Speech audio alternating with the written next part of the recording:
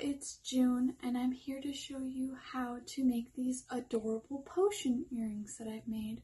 So I'm going to go ahead and pan down to the workspace, which is a little messy from these ones, so don't mind the glitter. We're going to need some supplies for this, and a lot of these supplies that you can actually get at the dollar store. So we're going to need these potion bottles that we bought here at the dollar store. And we're going to need some glitter. Be careful, it can bust open. And we're going to need some tape. I just bought some washi tape at the dollar store. We're going to need some paper, a pair of scissors, some Mod Podge, and a paintbrush. We're also going to need a little earring hooks, jump rings, and last, you're either going to need some wire or two of these earring pins. And then just to make our lives easier, we're going to use a safety pin as well. Now, for specialty tools, you're going to need some pliers, I have wire cutters, rose, rosary pliers or rounded nose pliers, and normal pliers. Now if you just have the normal pliers with the wire cutting in the back, you can also just use those, and I'll show you how to do the part that you need the rosary pliers with the other type of pliers as well. So I'm just going to go ahead and put all this stuff over here. We're going to start off with making our funnel. Fold it in half. Cut a nice little triangle. And then go ahead and twist, roll your triangle into a funnel.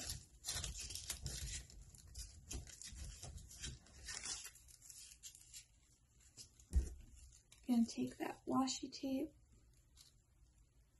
you can use scotch tape too. It's just, I like the washi tape. And you're going to go ahead and tape the funnel shut. I'm going to trim the top a little to make it even. And then I'm going to cut the bottom at a diagonal. And then we have a little funnel. And now we're going to pick our glitter and I think I really like the white, so we're going to go ahead and use the white. So I already have a white open.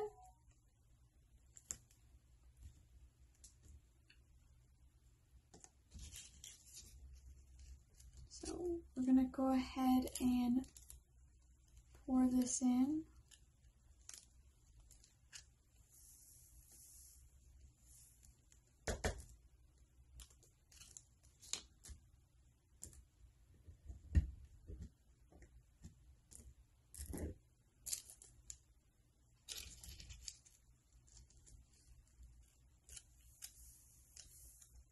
A piece of paper down so you guys can see what I'm doing better, but I highly recommend you putting a scrap piece of paper down so that way you have easier cleanup. So now we have our little bottles full of glitter. They kind of look like little milk jugs. They're super cute. Maybe uh, we can pretend like they're cute little milk things. So next comes the part where we're going to make these go on to these.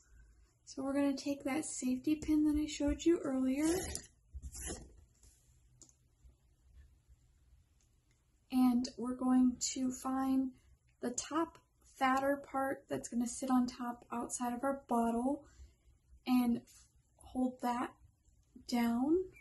We're going to find about the center and then stab it all the way through. I find it easy to work on a table so I can put it down and put the cork onto it so I'm less likely to injure myself. Now, when you're first learning how to do this, I'm still not good at it. You're going to stab diagonal just restab it and get it as straight as you possibly can. So once I have that, I now have a little tunnel made to make it easier for this to go through. So I'm going to find where that hole was. And I'm just going to push this through. And now it's a little cork bead. And now I'm going to do it again with the other one. Again, sorry about the glitter. It's messy, but it's fun. And then I'm going to pull that out.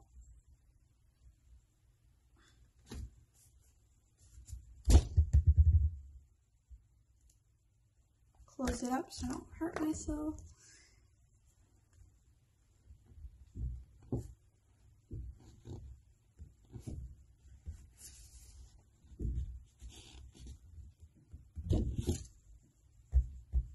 And the reason you stab it through before is so that way you don't have the wire bending like that when you're trying to put the earring post pin through.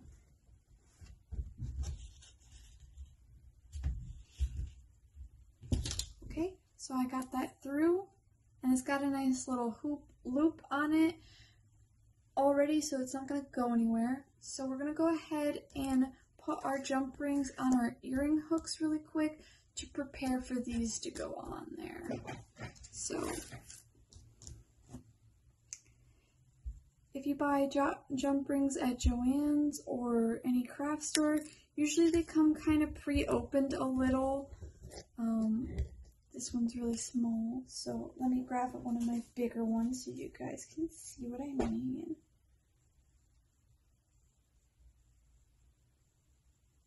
So they typically come a little opened if you can't see. It's still really hard to see on these small ones. Camera does not want to focus on it. But they come a little open. They're usually like this a little. And so you want to open it all the way so you can close it back up. So how I open up my jump rings is I usually pinch them with my needle nose pliers and then I take another pair of pliers and I twist them open. And then once I have it opened, I can then put it on the earring. And then pinch and twist it closed again. And then I like to put the needle nose pliers on the part where the wires meet up completing the jump ring and pinch it a little flat. It helps keep the jump ring more secure so it doesn't open back up.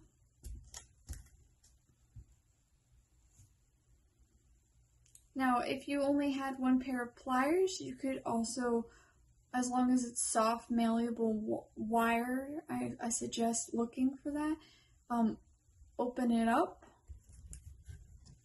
with your finger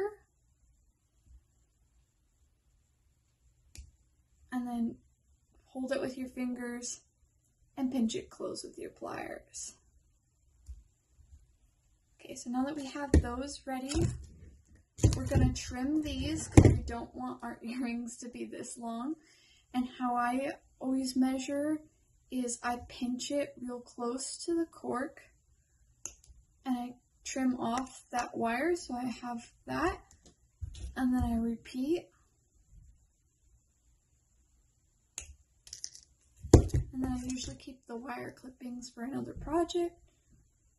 And then I'm going to grab the ro uh, rosary pliers.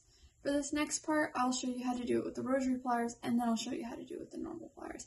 So you're going to go ahead and pinch the top, get the very tip, and then you're going to rotate in, and then ro unpinch, rotate your pliers out to the bottom of your circle that you made. So you see that? You're going to be pinching here and you're going to pinch and twist back so you create a little bit of an indent. And then you're going to go back in again and back until you have a little loop that looks like the one that was on the bottom. So if you don't have these, that's how you would make that if you were using a wire. So that was how to do it with the rosary pliers. So if you only had normal pliers, it's going to be a little bit more square and jagged, but it still works. So you're going to go ahead and pinch at the top again and twist in all the way down and then twist back usually I have to twist it in again because it's really malleable wire. So I have a little like captain hook hook there. So we're gonna go ahead and take it and hook it on that jump ring that we just closed up. And the reason we put jump rings on there instead of just putting it on the earring hook is it lays nicer and it looks better when it's finished. You're gonna go ahead and pinch your little loop closed with that jump ring inside of it. So you got that nice and closed. We'll go ahead and do this one. Link it in there. Pinch it closed. Okay, so that's the both those are done. Now you could if you stop here if you wanted and just have cute little cork earrings. Okay, so the next part's going to be gluing these shut. So you're going to go ahead and take a cork and paint it with the Mod Podge on the bottom, the sides, and even the top. Mod Podge dries clear, so it doesn't really matter if you get it all over the cork. I'd highly suggest painting the entire cork. And once you have a good coating on there, you're just gonna plunge it in there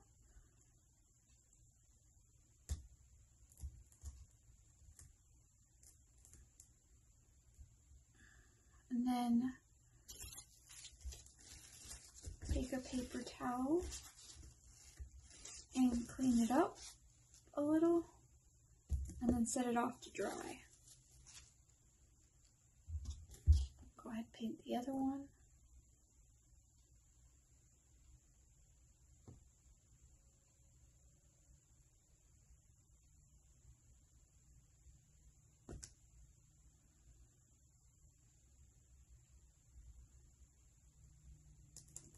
Okay, and now we'll clean this one up